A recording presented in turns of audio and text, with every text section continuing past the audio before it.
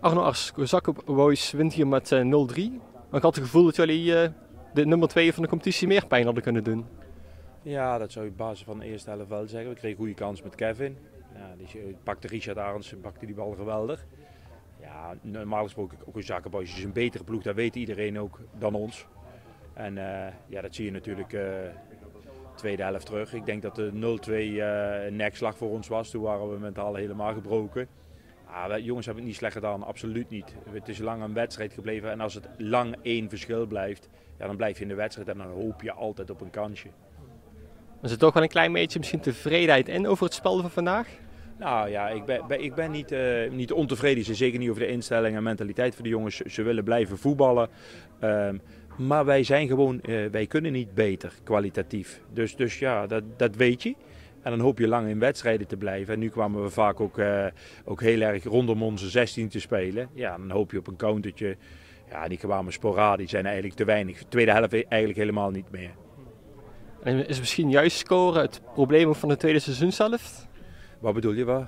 Scoren, dat je de kansen die je ja. krijgt, dat je moet benutten? Ja, natuurlijk. Kansjes die we krijgen, die moet je benutten. En vaak is het een individuele actie waar we uit kunnen scoren. Maar ja, je moet wel ook zeggen, we geven te veel weg en we geven te veel uh, onnodig doelpunten weg.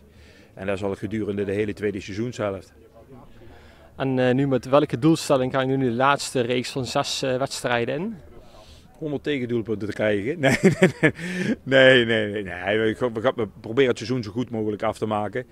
En uh, ja, we, zullen onze huid proberen zo duur mogelijk te verkopen met dit team. En ik heb het al vaker gezegd, dit, dit is eigenlijk het team wat in de ho hoofdklasse eigenlijk speelde. En dan nog uh, in, het, in tweede rijtje bij wijze van spreken. Ja, wat kun je van die jongens verwachten? Ik denk dat sommige individueel zich geweldig ontwikkelen.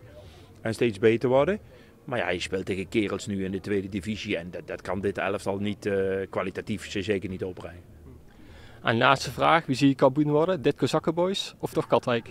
Nou, ik vind Kozakkenboys wel een hele goede ploeg. Ik bedoel, uh, maar Katwijk staat een straatlengte volgens mij voor.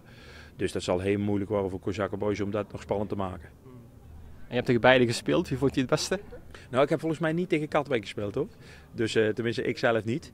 Maar Kozakka Boys is een volwassen ploeg. Uh, ja, als je ziet, heel veel beweging, goede middenvelders. Ja, dat is uh, zeker een titelkandidaat in de tweede divisie.